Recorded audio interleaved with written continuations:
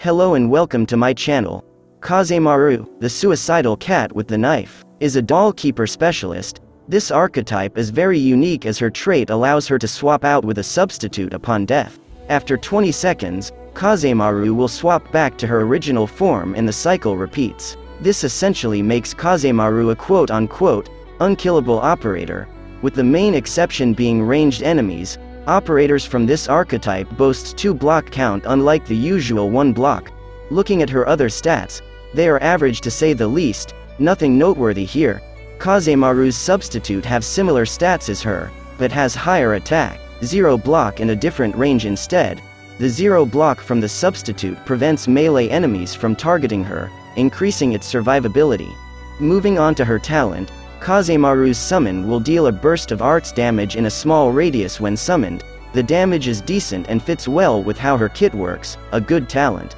Next up are her skills. Her first skill is a power strike where she will deal a critical hit to an enemy. As a trade-off, she loses 10% of her HP. The attack scaling from this skill is very high and so is the HP loss. At Mastery 3, this skill has an SP cost of only 2, Paired with Kazemaru's relatively fast attack speed, her HP will be going down fast, in case you're wondering whether Kazemaru can die from this skill.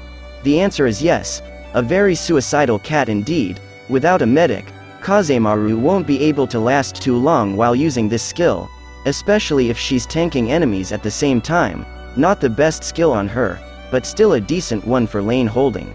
Now, if you think this video is helpful, do give my channel a sub to show your support. Kazemaru's second skill instantly drains 50% of her HP upon activation and significantly increases her attack. She will then summon her substitute onto an available tile around her to assist in combat. This skill synergizes well with her talent as summoning the substitute activates it.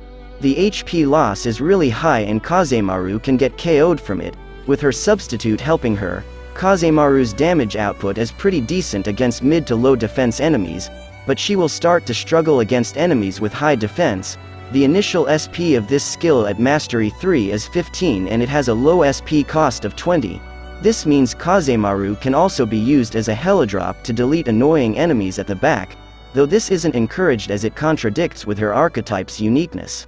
So, should you pull and build Kazemaru, I'd say maybe, Kazemaru's kit seems like a lot of fun to play around with, especially with her substitute, as Kazemaru's damage comes from sacrificing her health, you'll have to watch out when using her skills or you might accidentally KO the cat, when compared to Bena, another operator from the same rarity and archetype, Kazemaru uses her substitute to deal damage, while Bena uses her substitute mainly for revival.